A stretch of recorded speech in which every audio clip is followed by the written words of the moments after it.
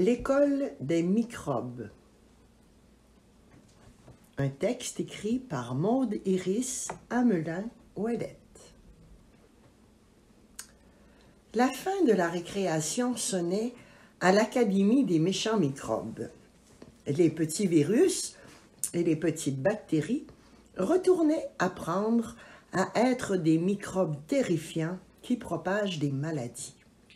Ce jour-là, Madame Grippe enseignait à ses élèves, les virus, à se méfier de leur pire ennemi, les vaccins. Savais-tu qu'il existe un moyen de te défendre contre les virus, comme celui de la grippe, de la rage? Ce sont les vaccins. Il s'agit d'un virus rendu inoffensif qui est injecté dans ton corps pour lui apprendre à se battre contre la maladie. Si le vrai virus entre dans ton corps par la suite, il pourra être attaqué et tu ne seras pas malade. C'est très utile car ces maladies ne peuvent pas être guéries avec des médicaments. Dans la classe de Madame Otite, la leçon portait sur les globules blancs. Plus l'enseignante parlait de cette terrible menace qui pèse sur les bactéries, plus ses élèves tremblaient de peur. À son pupitre, Flo se cachait les yeux en espérant ne jamais croiser la route d'un horrible globule blanc. Les globules blancs, eux, sont les soldats de ton système immunitaire. Ce sont eux qui attaquent les bactéries qui entrent dans ton corps. Il existe plusieurs types de globules blancs qui agissent différemment.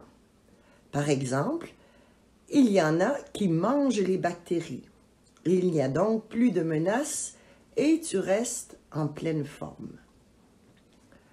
Après un moment, Madame Otite passa au sujet suivant, soit la contagion.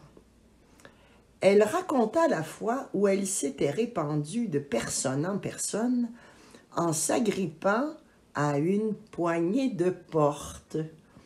Les petites bactéries étaient fascinées par le récit de ses aventures. Elle annonça ensuite le devoir du jour. Chaque bactérie allait devoir se propager à trois humains. Après la fin des classes, Flo et ses copains se rendirent au parc pour jouer un peu avant de faire leurs devoirs. Savez-vous comment vous allez vous propager? demanda Flo en se balançant.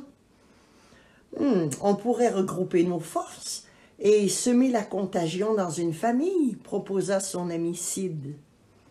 Tous acclamèrent cette belle idée les petites bactéries se dirigèrent vers la maison humaine la plus près et se faufilèrent dans la cuisine.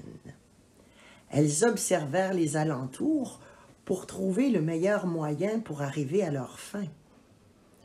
Ah, sautons dans le bol de salade, s'écria Sid. Tout le monde nous mangera.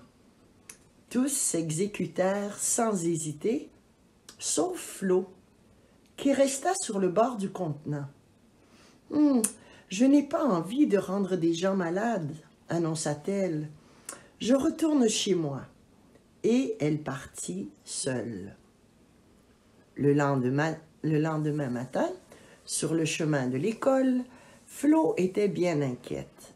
Elle avait peur de se faire gronder par son enseignante car elle n'avait pas fait son devoir.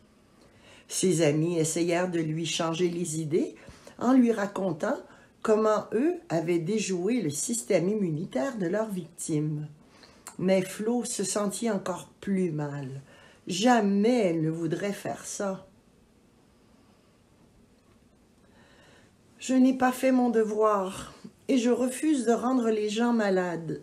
Tant pis si j'ai une retenue, annonça Flo dès son entrée en classe. Mais pourquoi s'étonna Madame Odile C'est dans ta nature de le faire. Quelle maladie transmets-tu? Ne sachant pas quoi répondre, Flo haussa les épaules. Hum, regardons dans le grand dictionnaire des bactéries. Je pourrai ensuite te donner des conseils sur la meilleure façon de remplir ta tâche.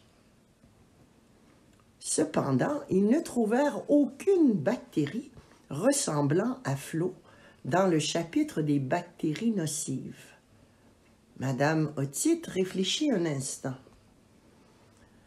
Il semblerait bien que tu ne sois pas une bactérie porteuse d'une maladie, expliqua-t-elle. Ton rôle à toi est différent. Par contre, cela sort de mon champ d'expertise. Va plutôt à l'école de l'autre côté de la rue.